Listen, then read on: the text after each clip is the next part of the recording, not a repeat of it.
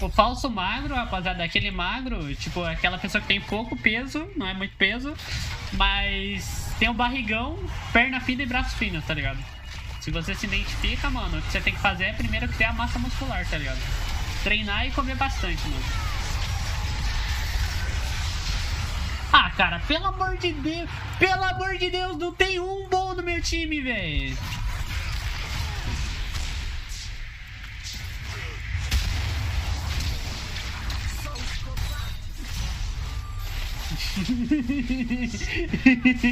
Caralho, Zé.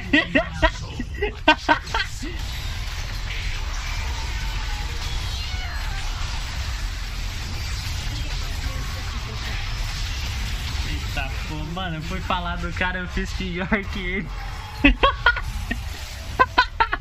Caralho, cara, o cara me desconcentrou, pô.